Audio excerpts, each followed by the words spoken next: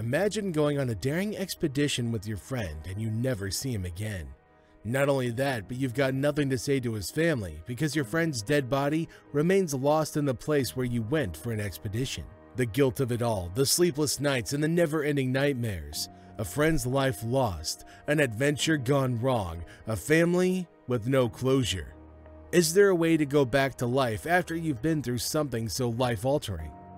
Roger Solari and his friend Martyn Farr went on a trip to Agen Allwedd Cave in 1974. They were both experienced divers, but they pushed themselves too far, and that's when Roger had an unfortunate incident.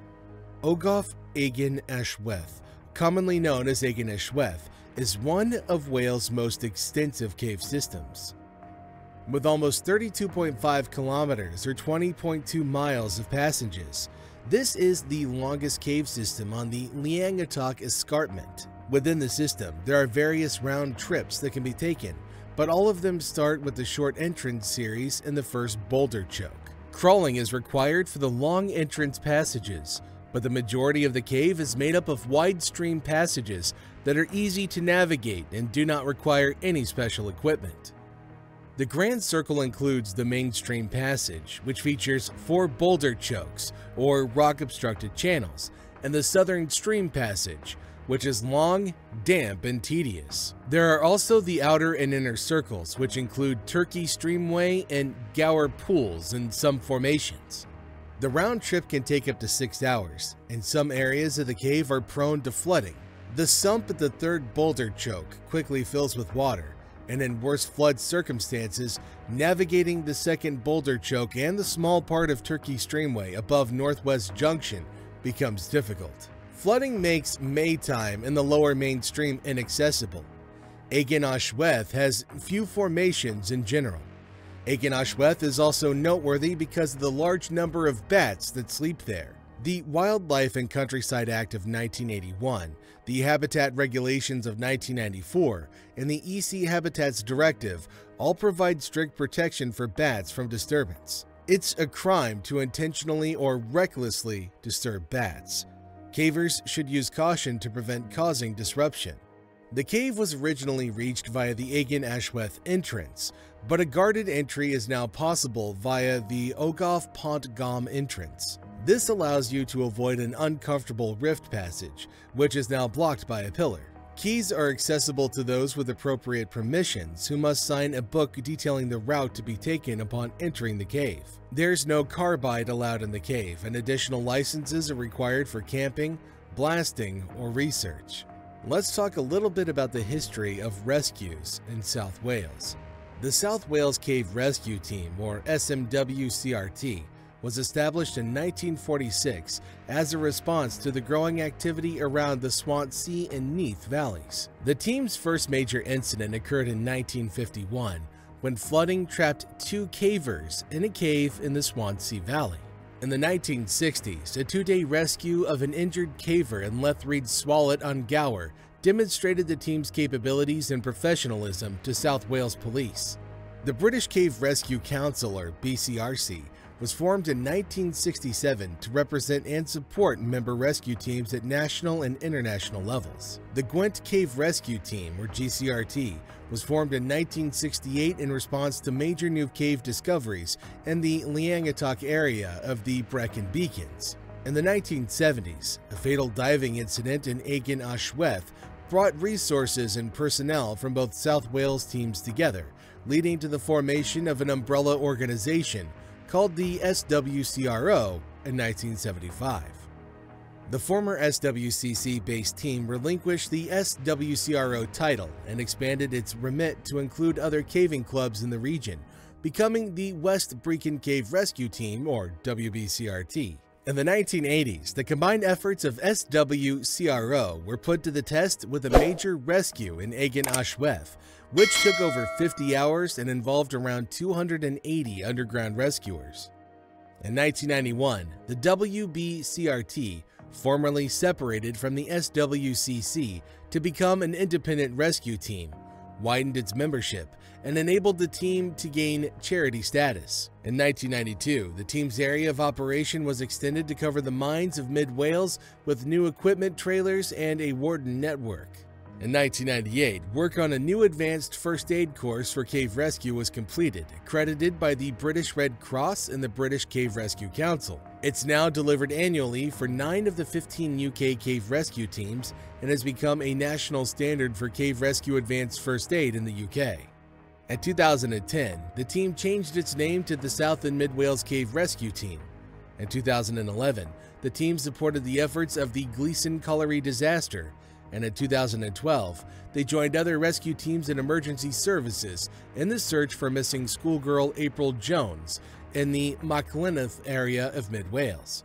In 2020, a fundraising campaign supported a modernization program to update the team's stretchers, radios, and incident control equipment.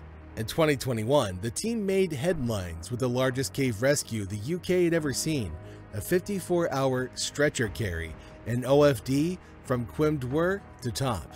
Now back to our tragic story of Roger Solari. In 2005, a group of divers explored Agen Allwedd in search of the mysterious link that leads to Daren Cilau. They began digging the inlet, revealing a 984 foot or 300 meter long tube in the system. The passageway is stunning, culminating in the corkscrew chamber. The cave's passageways stretch for more than 20.2 miles or 32.5 kilometers. When you enter the cave, you'll go through a short series at the entrance before reaching the first boulder choke. Within the cave, there are more round passages to explore. When you first enter the cave's extensive entrance pathways, you'll need to crawl until you reach the large passageways that are easily accessible even without any special diving equipment. The Grand Circle is one of the round excursions, is located near the main tunnel and has four boulder chokes, passages that are obstructed by rocks. The long, humid, and difficult Southern Stream Passage is another round passage within the Agen Allwedd. You can also explore the cave's outer and inner circles as well. The Turkey Stream is one of those. It's a beautiful stream with pools. If you wish to explore those round passages, plan on spending roughly 6 hours per passage, and keep in mind that those spots are prone to flooding. If your expedition falls during the rainy season, you must use extreme caution. The waterway at the third boulder choke is usually full of water, and during a flood, it's inaccessible to the second boulder choke. During strong floods, the limited portion of Turkey Stream way beyond Northwest Junction also becomes inaccessible. In 1949, Brian Price and his colleagues were the first to study the cave. David Seagrove and Harold Hicken discovered the passages in 1950, they continued exploring until they reached the first boulder choke. The Hereford Caving Club advanced the exploration by breaking the initial boulder choke that had kept them from accessing the main part of the cave in 1957. In 1971 and 1972, John Parker and Jeff Phillips, together with others, explored the cave systems. John and Jeff uncovered 1,969 feet or 600 meters of a new passageway in 1972. They had recently added 1,476 feet, or about 450 meters, to the total length of the route downstream of the previously discovered sumps. However, John lost interest in this exploration and slacked off. Martyn Farr, who had been inspired by Parker's previous diving expeditions, continued his exploration from the point where he had stopped at Agen Allwedd. Martyn began exploring the cave in 1973, and he and Roger Solari went on the cave's longest excursion in 1974. Roger was on this adventure when the awful tragedy occurred. Roger Solari is without a doubt one of the most gifted cavemen in the United Kingdom. He had done multiple dives in various locations, including Yorkshire, South Wales, and Ireland. When it came to cave diving, he was a dedicated and tough man. Roger was an introvert by nature yet he was well liked and respected everywhere he went. Nothing was too difficult for him, and he was always found pushing through to triumph. He began diving when he was 12 years old in his native forest of Dean. He grew so familiar with this woodland as a result of his continuous exploration that he knew its mysteries and geology. His scholarly research on the Forest Master system began. His intention was to write about the various caverns and mines found in this woodland region. He studied physics at Birmingham University and graduated with honors. Roger was the president of his school's Speleological Society. He founded the Cave Project Group and also belonged to the Forest Rescue Association. Roger Solari and Martyn Farr entered the Agen Allwedd Cave on Saturday, June 15, 1974. Martyn Farr was a prominent cave diver and caver. He's one of the world's most recognized divers, and he's acquired phenomenal reputation in the cave diving community as a result of his incredible cave diving discoveries. Roger and Martyn plan to investigate and develop the channels within the cave to continue from where one of the best divers, John Parker, had halted. Remember that in 1972, John Parker and Jeff Phillips discovered 1,476 feet, or about 450 meters, more quarter length than the previous length, totaling 1,969 feet or 600 meters. Martyn had already dived into this cave system a month before their adventure. Roger, however, was unable to attend due to a knee injury. During this research, he arrived at the spot where John Parker had left his exploration and was ecstatic because he discovered a massive passageway leading into the darkness. He dashed down the hallway to see where it ended. According to Martyn, it was a tunnel that all cave divers hope to discover. Unfortunately, he was unable to continue his expedition on this day due to a lack of oxygen in his tanks. One month later, in June 1974, Roger and Martyn were preparing to go on a long journey. They were about to dive into the mainstream's downward stream, Sump 4. They each came with three air cylinders, boots, and a line reel. Everything went smoothly until they got to Sump 4. Martyn was close behind Roger, who was leading the dive. Roger was carrying a 400 foot or 122 meter line reel. He was laying line with it. Martyn, on the other hand, had a reel with a length of 1,000 feet or about 305 meters. During the dive, Roger mentioned that he was having sinus problems. However, Roger was not unfamiliar with the challenges that he was facing. He had previously encountered similar difficulties while diving. This trip was identical to one of those challenging ones. Martyn suggested that Roger return if the situation did not resolve. Martyn and Roger were diving together but independently. That is, either of them could choose to return to the surface at any time. That was part of their dive strategy. Roger was keen to continue the exploration because it piqued his attention. When Roger's line ran out at about 400 feet, 122 meters down the sump, it was clear that they had reached a depth of 50 to 60 feet or 15 to 18 meters and that the channel was dropping further. Martyn examined his pressure monitor and noticed that he was almost at his first third limit of air and he chose to keep going. He was aware that Roger had a little less air in his tanks and they communicated underwater that Martyn would continue on his own and Roger should return. Martyn continued up the deeper passage. He observed a gravel bank with a steep upward slope around 150 feet, or 45 meters later, just when he decided he should return to the surface. Martyn examined his pressure gauge at this moment, only to discover that he was already far into his second third of air. Despite this, he ascended the slope, expecting to find an air pocket where he could breathe for a second. He proceeded higher and higher till he reached about three feet below the water's surface, but there was no airspace there. Martyn had only a half bottle of air left, which he needed to get out of the cave. Martyn had pushed the limits pretty hard this time and had swiftly made his way out.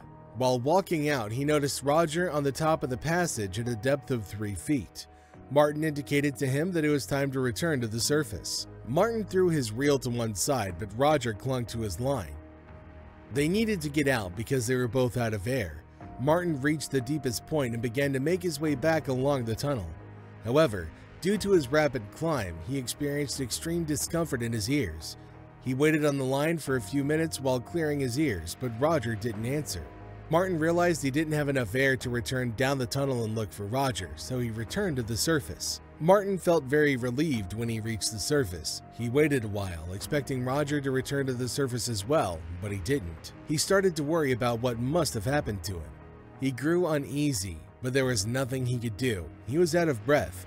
This was the main reason he couldn't wait for Roger in the cave, as any professional diver would. But now that he was out of the cave and Roger hadn't returned, he had no choice but to return to the cave with his air supply. He returned to the cave. He started pulling on the line, but it was slack. He discovered that the line had been cut around 30 feet or 9 meters after where the lines were linked, about 430 feet or 131 meters further. Martyn didn't have enough air at this point. It was no longer safe for him, so he returned to the surface and waited endlessly for Roger to return. When John Elliott and his fellow divers returned from their nine hour dive nearby that night, they encountered Martyn, who informed them that Roger had yet to return from the fourth sump. They immediately notified the police and the cave rescue team about the situation. John Parker had also been summoned. During the time of the accident, he was one of the best available. They attempted to dive to rescue Roger's body on Sunday evening, but were impeded by poor visibility caused by heavy rain in South Wales. They were there all night but had to call it quits when they couldn't find him. They waited for several days. They returned the next Thursday. The search crew included 11 divers, including John Elliott, John Parker, and Colin Edmond, a diver from the area. They were returning to the final sump where they had last seen Roger. They took it upon themselves to locate the body and return it to the surface. While others waited on the surface, John Parker and Colin Edmond entered the cave. After reaching the third sump, Colin returned to the surface, stating that visibility was still very bad. Parker resumed his hunt on his own. Parker was equipped with four air cylinders for the dive. He had made it down to the fourth sump and had placed more than 500 feet or 152 meters of line, despite the fact that he was still diving in low visibility. Roger's body was nowhere to be discovered despite his best efforts. Parker had returned to the surface around three and a half hours after Colin had. After a brief meeting, the 10 divers agreed that the search should be called off to minimize further risks. They'd spent 10 and a half hours looking for a long lost diving companion, Roger Solari. Unfortunately, they were unable to recover Roger's body from Agen Allwedd, and what happened to him inside the cave remains a mystery to the cave diving world to this day. One might suppose he became entangled and cut the line from the reel as a result.